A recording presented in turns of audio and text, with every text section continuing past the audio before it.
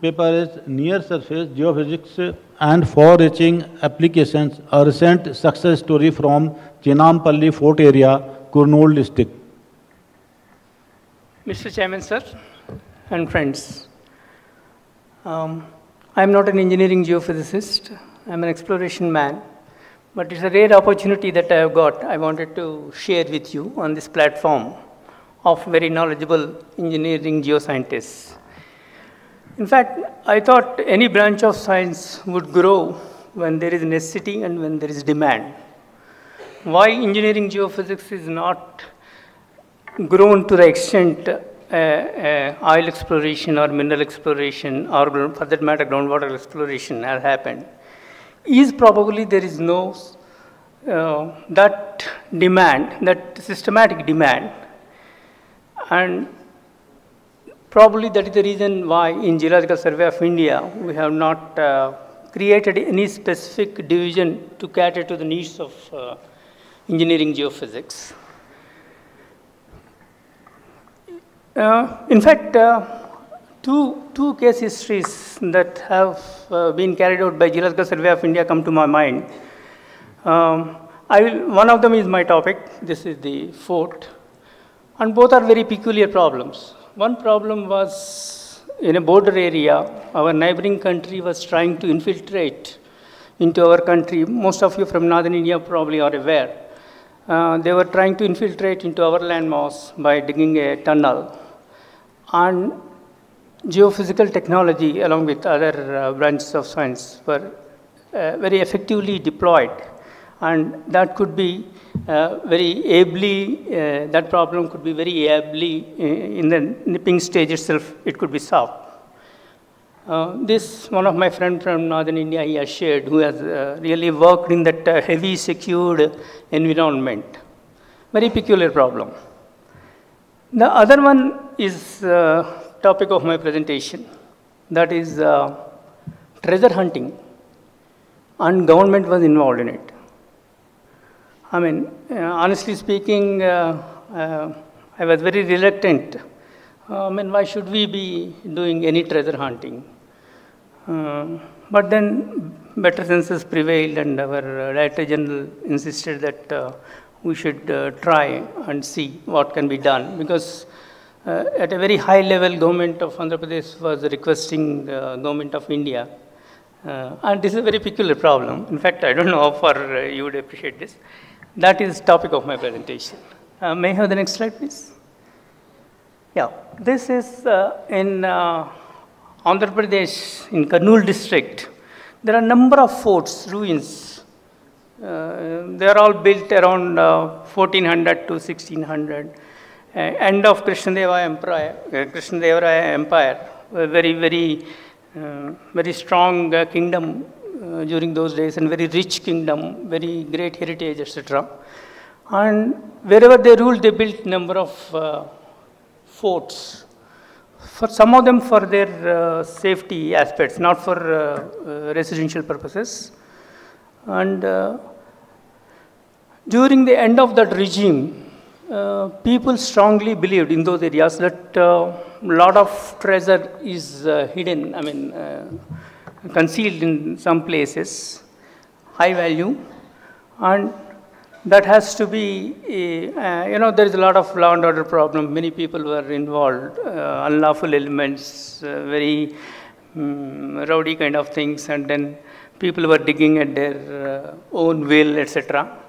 And then uh, government of Andhra Pradesh wanted to uh, involve GSI into say categorically whether there is any treasure or not and tell openly to the public that there is something and there is nothing. Yeah. And that opportunity what we got is uh, my presentation and the blue line in the right one what you see is the uh, fort which is uh, totally in ruins now. Next one please. Now, geophysics is basically two kinds. One is passive, other is active. That is your, it is like uh, source and response studies. You energize either uh, uh, not with your intention, like gravity field or magnetic field, and see how the geological units are responding to them. Or The other method is uh, the active method where you, you have the control and you can uh, energize the ground and get response out of it and try to uh, convert them into geological units. Both these methods were employed here. In fact, we had no other goal. We wanted to find out um, in an open land, uh, which is uh, highly um, hilly and you know very rugged terrain, etc., what anything can be hidden.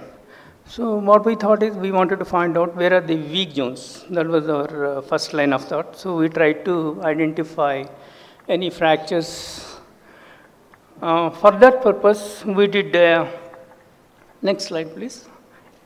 Yeah, for, for that purpose, we did uh, the magnetic survey. And the next one is obviously the high precise uh, GPR surveys to actually locate them.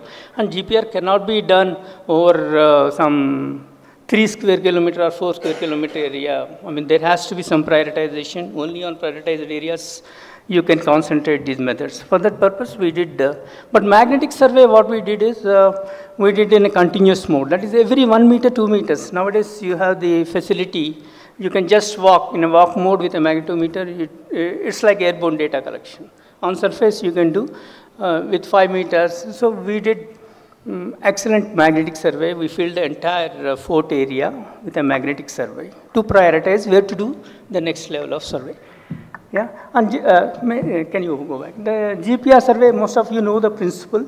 Uh, it is the mm, in the in the high frequency ranges this technique is used. It's like any other electromagnetic technique.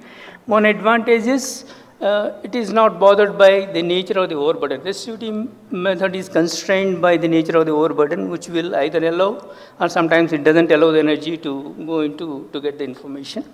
But GPR doesn't suffer. But only problem GPR is, is highly localized survey. That is, only the upper layers you get the in information about it. Yeah, there is varied uh, frequency ranges. You can choose uh, the frequency in which you want to do. The higher the frequency, uh, the local, the nearer the, the object. The low frequency of these uh, high frequencies, you can target for something deeper. Anyway, uh, let us say from 0.5 meters to maybe 30 meters, you can get the information from uh, ground penetrating radar. And you can see if there is a, a, a boundary, uh, it nicely reflects, it's a very theoretical pictorial diagram. But if there is any void space like the point reflector, what you see in the center, uh, it, you get a hyperbolic uh, response. So this is how you try to identify whether it is an artificial uh, object or a natural boundary. Uh, that's how from the GPR survey you decide what it is in the subsurface. And the frequency ranges generally what are the other engineering, uh, I mean, what are the specific engineering applications you want to target. Depending on that, uh, you choose the frequency. Okay, next one, please. Yeah, and this is the electromagnetic spectrum, very well known electromagnetic spectrum. In GPR, we concentrate on the high frequency, uh, ultra high frequency and very high frequency ranges. We, we choose that energy to energize the ground and get the response. And you know the, how the energy interacts with the geological medium. And that response is studied and uh, converted into it. Uh, next one, please. Yeah, there are many applications. Now I think it is, um, the doors are open, many, many uh, military intelligence, etc. Some strange uh, uh, demands are coming. Accordingly, uh, GPR technique is used. Mainly in Geological Survey of India, we have been using uh, GPR surveys for our Antarctica studies because in an ice-covered medium to know the subsurface, that is the best method. It, it applies very effectively and you get the uh, information. Uh, other than the geological applications, yes, there are a number of archaeological uh, investigations that can be addressed.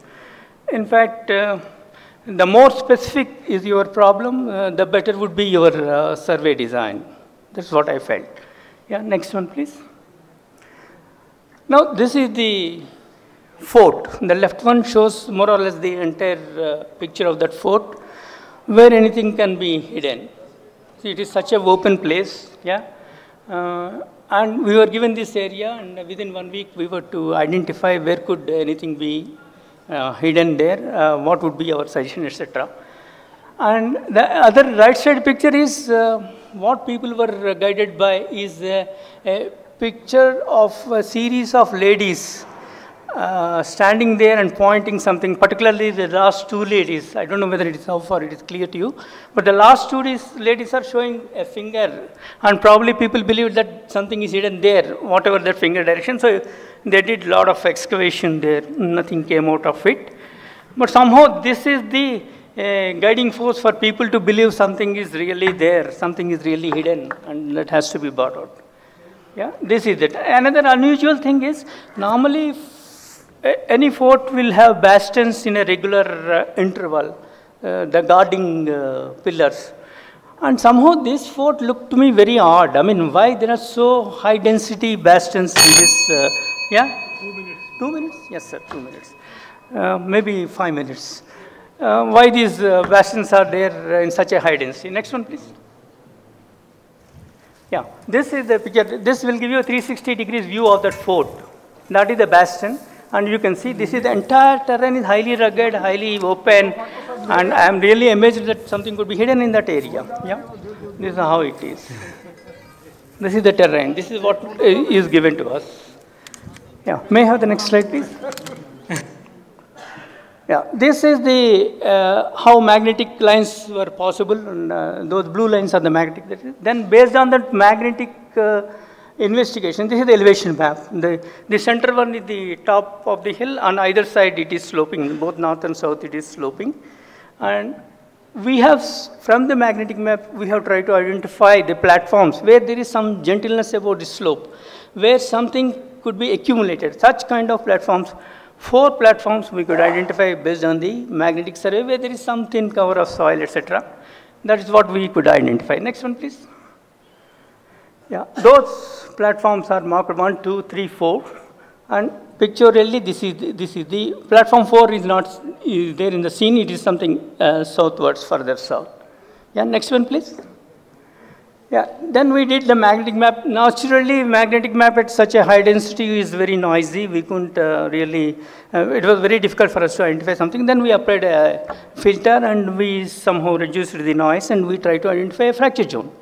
And fracture zone is coinciding with the number of wells they are falling on that line. So we were sure that uh, uh, there is a, a fracture which is cutting across the uh, fort from that slope to this slope. And uh, in the center, uh, if you can see, yeah, this is the unusual anomaly. Otherwise, it's a low magnetic zone. Somehow we thought, why, we are very confident of our data because it's a high precision data. We, we have taken a lot of care in collecting the data. And that uh, anomaly, which is highly localized and standing out, uh, normally geological anomalies are not like that. So we thought that this anomaly is not a geological region, it is something unusual. So we were almost uh, keen that we should exploit that anomaly and uh, uh, do the next survey. Next one, please. Yeah, this is how GPR survey is done. This is again a pictorial, I mean, a, next one, please. Now, the the joints would reflect in a GPR survey like this. Next one, please. And uh, these are the boulders. If they are embedded, they, they look like this in the platform, uh, one platform, site two. We have found out the second, next one. In the third platform, uh, again, void space, you know, maybe a boulder is embedded in the soil cover, that's how it is doing. Then these are the fractures. Uh, based on our experience, we have tried to uh, uh, convert our uh, GPR signals into possible geological regions. Next one. Um, this is the, then we narrowed down to this place. This place we thought between one bastion here and another bastion here, this place I thought uh, was most suitable for something. Yeah, next one please. Then there when we conducted the GPR survey, we found out these chambers. So this chamber uh, is exposed. Yeah, and in continuation, not in this picture, in continuation of that we thought there are some more chambers which are now hidden under soil cover. On the first look or any, any amount of surface observation would give you an idea that uh, uh, there is a possibility of a hidden chamber in that particular area. Next one. Uh, yeah, this is the last one, platform four, where we conducted, and what we got is only uh, joints uh, uh, in that place. Next one. Yeah, this is, when we, when, then they said, then we said this is our priority one. And the government of AP started doing the operations and uh, they've opened up. And we have established that this kind of room which is exposed, in the earlier picture nothing is here, uh, we could find out the parallel rooms. Now covered. Now,